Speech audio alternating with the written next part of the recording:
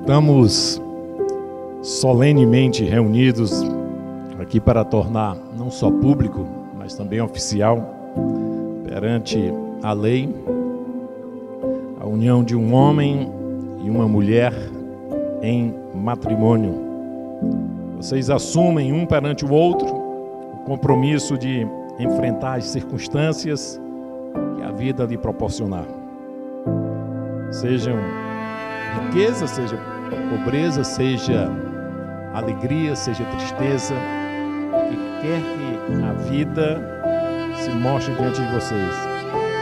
Vocês devem manter a fidelidade um para o outro. Vocês serão um complemento um do outro. Começou a lacrimejar, depois ficou Eu não penso que tá assim, quando eu vim fazer o teste. Não, é eu Eu não deixar chorando. pensar se a senhora tá emocionada não também. Ah, não sei, mas acho que um pouco.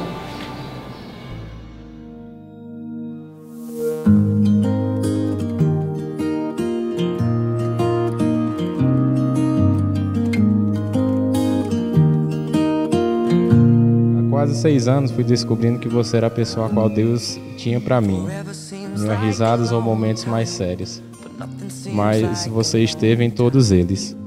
Fomos vendo ao longo desses anos, principalmente nesse último ano de 2016, o quanto Deus tem nos abençoado. Feel like I'm walking on water since the day that I asked your father to let go of his daughter. So give me Hoje ao acordar, eu vi o quanto este dia amanheceu lindo. E pude perceber que até nesse detalhe o Senhor caprichou. Ai, meu Deus. let her take my heart and take my hand. Take my heart and take my hand. Lembrei um pouco de tudo que passamos, o quanto esperamos para que esse dia chegasse.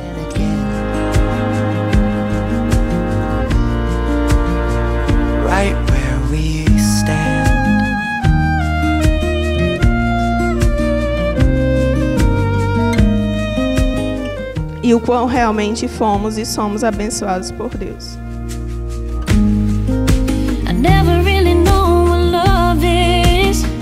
But whatever it is,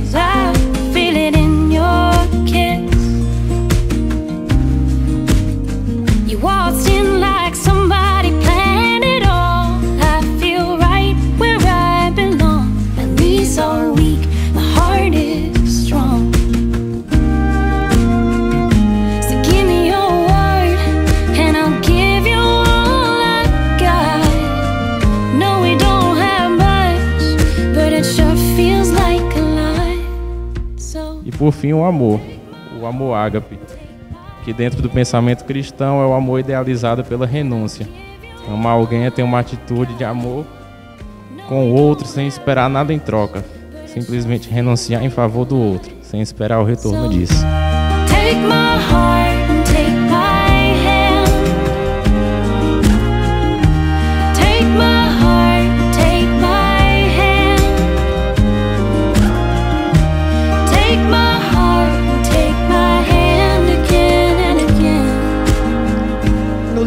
Filipenses, capítulo 2 e versículo 2 diz: Completai a minha alegria, de modo que penseis a mesma coisa.